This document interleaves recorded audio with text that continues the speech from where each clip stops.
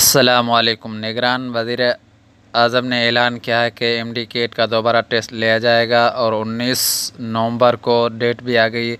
इसका हवाले से कराची के अंदर बहुत बड़ा एहतजाज हो गया। जो पास हुए थे, उन्होंने कहा कि हमने मेहनत करके, हमने इतनी सारी मेहनत की, उसके बा, बावजूद ये दोबारा टेस्ट क्यों ले रहे? हम, हमारा टाइम ज़ाया कर रहे हैं और दूसरे हमने मेहनत की है, वो ज़ाया कर रहे इस हवाले से कराची प्रेस क्लब पर बहुत बड़ा एहतजाज हुआ कैंडिडेट की तरफ़ से मेल, फीमेल, सारे जो एम डी के टेस्ट उन्होंने दिया था, उनके वालदेन, प्रेस वगैरह सारे कराची प्रेस क्लब के सामने थे। उनका कहना था, ये दोबारा टेस्ट नहीं लिया जाए, हम इस फैसले को मुस्तरद करते हैं।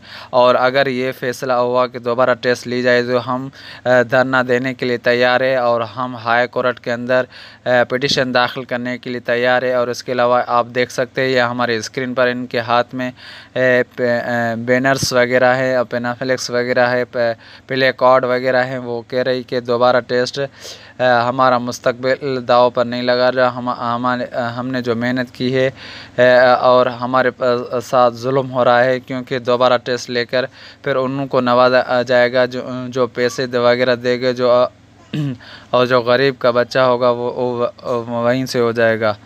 और लेकिन ये बहुत बड़ा एहतजाज है। अब हुकूमत के यहाँ भी ये मसला हो गया, दोबारा टेस्ट लेगी या नहीं लेगी, क्योंकि दोबारा टेस्ट आने की उन्नीस डेट तो आ गई है, लेकिन उसके बावजूद भी ये एहतजाजी मुजाहरा हो रहे हैं पूरे ये कह रहे हैं कि अगर ये रुका नहीं तो हम पूरे सिंध के अंदर, पूरे पाकिस्तान के अंदर एहतजाज मुजाहरे करेंगे। कराची से लेकर इस्लामाबाद तक और कराची से लेकर कश्मोर तक हम हर जगह पर, हर डिस्ट्रिक्ट के अंदर, हर कैंडिडेट अब उठेगा और वो एहतजाज करेगा। ठीक है, और इसमें यह है कि जो फेल हुए हैं, जो पास नहीं हो सके, वो उन, वो कह रहे हैं, अभी दोबारा टेस्ट हो, क्योंकि हमारे भी मौका मिल जाए। इस हवाले से अभी देख देखना ये होगा कि दोबारा टेस्ट होगी या नहीं होगी, क्योंकि निगरान वज़ी अला और हेल्थ डिपार्टमेंट की तरफ़ से नोटिफिकेशन जारी कर दिया गया है।